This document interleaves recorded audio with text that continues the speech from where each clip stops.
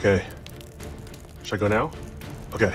Um, yeah, I guess I should uh, sh- share and start by kind of saying that um, I've been an operator in this field for five, whew, maybe uh, seven years now. No, that's not right. I, I want to say six.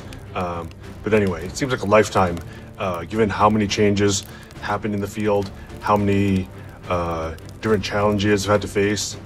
But um, it's all been great. Uh, the one thing I'd say is that, um, you know, for, in terms of staying power, you need to be able to learn how to learn.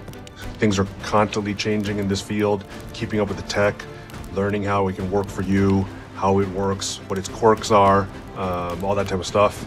Um, and then the last thing I'd probably say is that uh, people tend to glamorize this solo operator type of lifestyle, like you can do it all yourself. And I almost find like the exact opposite to be true in that um, the secret here is uh, learning how to build and find your tribe um, and uh, learning to find like-minded people that share your vision that support your vision that want to uh, create like you um, because I think in the long run you'll go much further uh, with a team.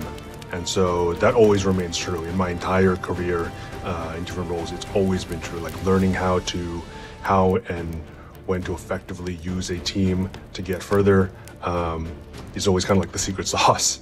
So, all right. I mean, that's it. Like, you think that works?